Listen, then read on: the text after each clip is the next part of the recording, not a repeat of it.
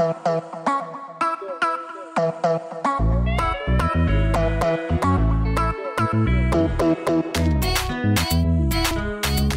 navolging op het Wintiwai-project heeft de minister van Openbare Werken, Transport en Communicatie ook een veldbezoek gebracht aan het Kanhai-project. Het ministerie zal binnenkort starten met het ophalen van de rioleringen en trensen in het gebied. Uh, het probleem hier, laat ik dat alvast beginnen uit te leggen, is een uh, jarenlange probleem en dat is dus wateroverlast.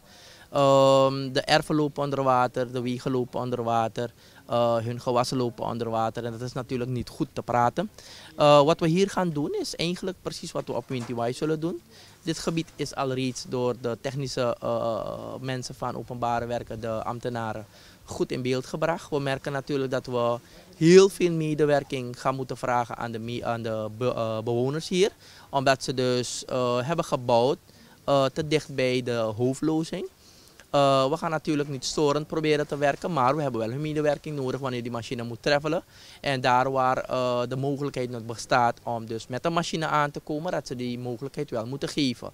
Um, daar hebben we dus ook de DC en haar uh, manschappen reeds die toezegging gehad om dus hun bijdrage te leveren. En dan moeten we natuurlijk dit mooi project droog kunnen leggen. we staan hier dus bij een hoofdlozing. Uh, die dus reeds is aangepakt. Wat we nu gaan doen is, uh, we zien dus dat het water mooi is weggezakt. Uh, nu kunnen we zien hoeveel bagger we dus kunnen, kunnen weghalen, hoe we het gaan kunnen baggeren. Omdat daarmee natuurlijk ook direct een behoorlijke capaciteit aan opvang van het water dat richting hoofdlozing moet komen, kan worden opgevangen. we merken ook natuurlijk dat een heleboel van de inritten geïnspecteerd gaan moeten worden. Uh, we hebben in de praktijk, niet alleen hier, maar over het algemeen in Suriname, merken we dus dat gebieden onder water lopen. Uh, niet alle gebieden, maar de meeste woonwijken onder water lopen. Vanwege natuurlijk uh, een aantal oorzaken. Ehm, zonder een verwijt natuurlijk naar wie dan ook te maken. Het kan ook vanwege onwetendheid zijn. Dat dus mensen of geen duikers plaatsen voor hun inrit. of te kleine duikers, dus diameter, die dus de capaciteit absoluut niet aan kan. Uh, of de duikers die waren geplaatst heel oud zijn, dichtgeklapt zijn, bezand zijn. Er zijn een x aantal uh, oorzaken.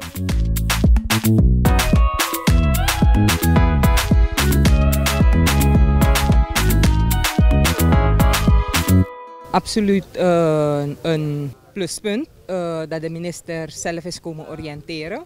Omdat na een aantal audiëntiegevallen van de burgers en de brieven, de telefoontjes die wij steeds weer ontvangen van de uh, bezorgde burgers, hebben wij de minister zover gekregen om toch wel een oriëntatiebezoek te brengen aan dit project.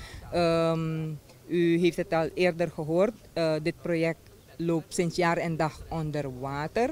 En de minister wenst in samenwerking met de overige actoren een, een, een stap te ondernemen om de burgers al hier te helpen. We kunnen hem algemeen bekijken. Hun huizen liepen onder water. Ze konden niet doorspoelen.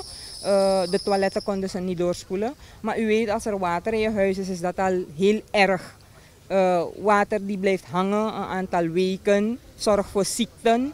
Uh, de kinderen die konden dan de scholen niet bezoeken. Dat, was, dat is heel erg. De bedoeling is natuurlijk dat we ook gaan kijken hoe het staat met de bermen. Dat die bermen gelijk kunnen worden uh, schoongemaakt daar waar voorlopig de mensen niet woonachtig zijn. Want u begrijpt dat bij wet elke burger vlak voor hun woning die twee gedeeltes van de bermen, dus links van hun inrit, rechts van hun inrit, dat ze het zelf moeten onderhouden. Dat hoef ik niet aan te geven, dat is heel erg bekend. Wat we wel merken is dat niet iedereen het zo nauw mogelijk neemt of te nauw omgaat of goed omgaat met dat stukje. En daar gaat natuurlijk ook de DC uh, haar bijdrage leveren, haar aandacht aan geven. Dat de mensen toch erop worden aangewezen van luister, u maakt er goed gebruik van, u mag. Dat is openbaar, maar onderhoud wel. Want dan blijft het mooi en het blijft schoon natuurlijk. En een schone, schone omgeving brengt heel veel ontwikkeling met zich mee. Dus we gaan ook hier starten. En we zorgen ervoor dat dit wat ze nu meemaken aan wateroverlast, dat we het samen met hun, want die medewerking moeten ze wel verlenen. En als ze natuurlijk uit deze situatie willen geraken, dan gaan ze heel mooi hun medewerking verlenen. Men zegt eerst zien dan geloven. Inderdaad, de minister heeft een eerste stap gemaakt om zelf te oriënteren. En dat is een eerste stap naar het goed begin. Uh, bewoners van Kanhai-project, u mag erop toezien dat de minister zoals, heeft aangegeven, zoals hij heeft aangegeven, aan aanvang zal maken met werkzaamheden in en rondom het Kanhai-project. Wanneer het gaat om uh, infrastructuur die wordt aangepakt in Suriname, dan merken we natuurlijk dat het wat overlast met zich meebrengt, wat geluidsoverlast, maar noem het hinder. Dat ze daar wel rekening mee moeten houden, omdat we het niet anders kunnen.